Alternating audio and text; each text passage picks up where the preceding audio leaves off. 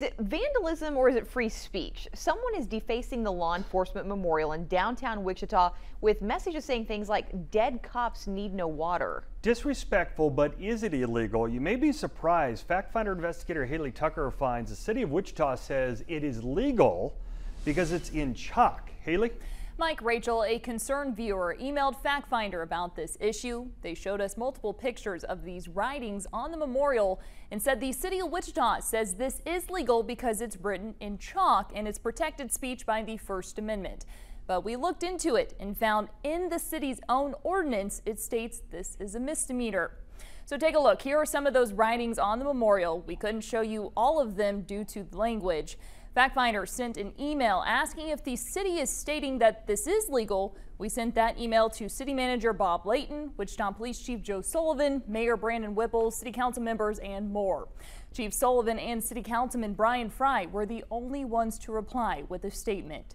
Chief Sullivan says in part that it's disturbing to members of the department and extremely hurtful to the families of fallen officers and says, quote, unfortunately, the legal guidance we have received is that so long as temporary chalk is used, the vile language posted is protected speech under the First Amendment. He goes on to say, let me be clear though, should anyone ever do or even attempt to do permanent damage to the memorial, that would amount to criminal behavior and the perpetrators will feel the full legal weight of the combined criminal justice systems of Wichita and Sedgwick County. City Councilman Bryan Frye responded today saying, quote, I appreciate and value free speech, but to desecrate a memorial is vandalism in my eye, doesn't matter if it's chalk or not. So we pulled the city ordinance. This is what we found regarding defacement or damage of property by graffiti.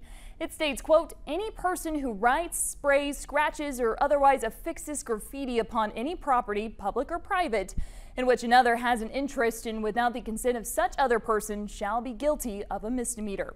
And the city of Wichita's ordinance defines graffiti as, quote, any unauthorized writing, inscription, word, figure, or design which is marked, etched, scratched, drawn, or painted on on any structural component of any building, structure, fence, wall, or other facility, regardless of the nature of the material used in its application or upon which it is applied. All right, so Haley, it boils down to chalk. So it's saying the city says it's legal because this is chalk, but what stops people from defacing other property, even buildings, for example, with chalk? Because it's technically removable. Right. So those were big questions that we asked. And right now, chalk is not defined in the city of Wichita's ordinances, but it would fall under writing materials.